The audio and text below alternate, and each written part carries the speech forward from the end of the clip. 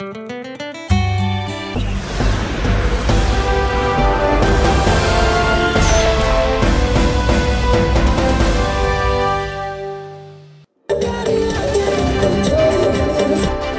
और आप देख रहे हैं पल पल। सिरसा में रागरी कार्यक्रम की रही धूम।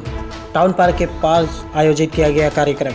पुलिस व प्रशासन की ओर से कार्यक्रम का आयोजन किया गया। शहर वासियों ने भी बढ़ चढ़ के भाग लिया। विभिन्न सांस्कृतिक कार्यक्रम भी आयोजित किए गए। आप देख रहे हैं सिरसा पल पल से अमर सिंह जानी की विशेष रिपोर्ट। आज पुलिस विभाग व प्रशासन के सहयोग से सिरसा में जन भागीदारी का लोकप्रिय राहगिरी कार्यक्रम आयोजित किया गया।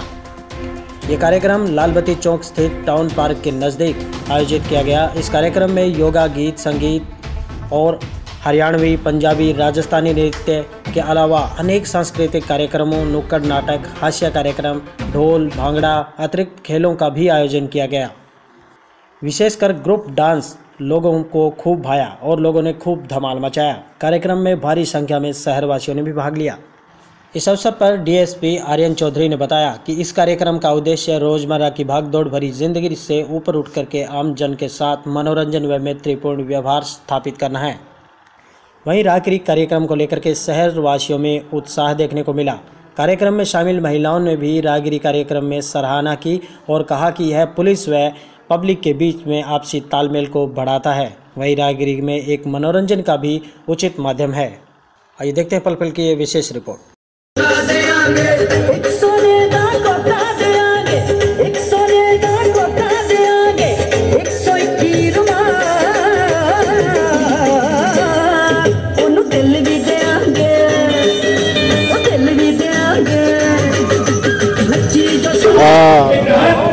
आज आप देख सकते हैं कि उत्साह काफ़ी है और इसका उद्देश्य यही है कि लोग स्ट्रेस फ्री रहें, लोगों में कम्युनल और रिलीजियस सौहार्द बने आपस में सोसाइटी में, लोगों के बीच में। अब आपने देखा होगा कि समाज के हर स्टेटा से हर इकोनॉमिकल बैकग्राउंड से लोग एक साथ डांस कर रहे थे।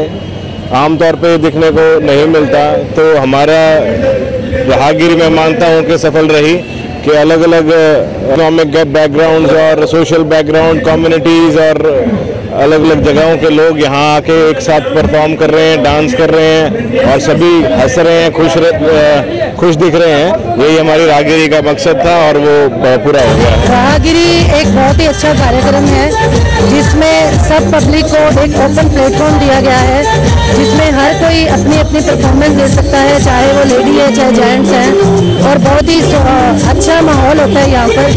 कोई ऐसा नहीं है कि कोई भी आकर ओपनली परफॉर्म कर सकता है। इससे पब्लिक और एडमिनिस्ट्रेशन में एक स्ट्रेंथनिंग बढ़ती है। आपस में एक अच्छा सा माहौल होता है। जैसे हम पहले डरते थे कि एसपी डीसी है तो हम उनसे कैसे बात करें? लेकिन आज इन्होंने ये माहौल ऐसा बना दिया है कि हम खुलकर अप, अपनी बात भी रख सकते हैं उनके सामने और उनको मिल भी सकते हैं। तो बहुत ही अच्छा इनिशिएटिव है। ये एडमिनिस्ट्रेशन की तरफ़ से और हमारी सरकार की तरफ़ से।